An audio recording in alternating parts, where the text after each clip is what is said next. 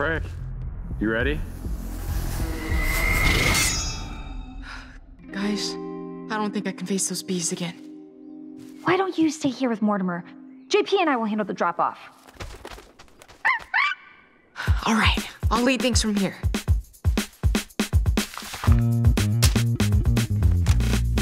Okay, Operation Hive Mind commence. You're up, Eustace. Copy that.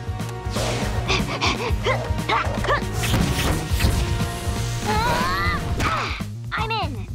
Roger that. Drop the lid. Cardboard pop! The bees are contained. Now switching to phase two. Cannonball, the eagle is in the freezer. Huh? Oh, uh, I-, I meant that the ice pop sticks are secure and ready to be delivered. Oh, that's dope.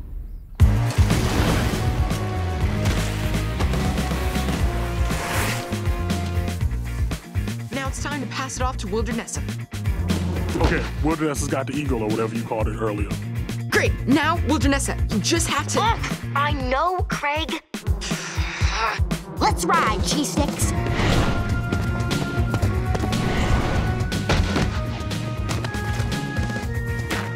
Sewer Queen just needs to make the drop off to Kelsey and JP, and we'll be home free.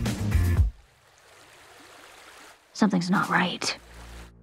Craig, what's the status on Sewer Queen? She should be there by now.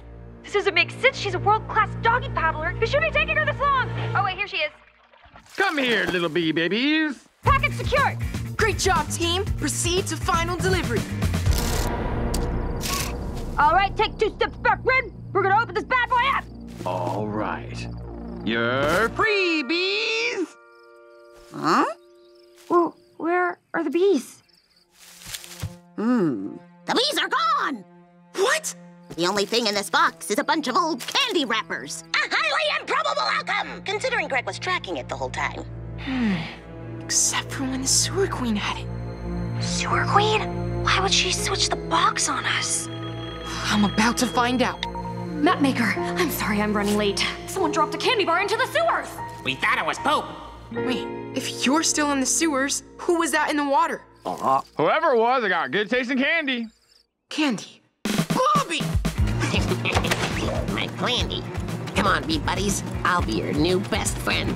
He double-crossed us. Where could he be? With our bees. He must have headed east to avoid crossing the creek, which means he'd be heading toward the daycare.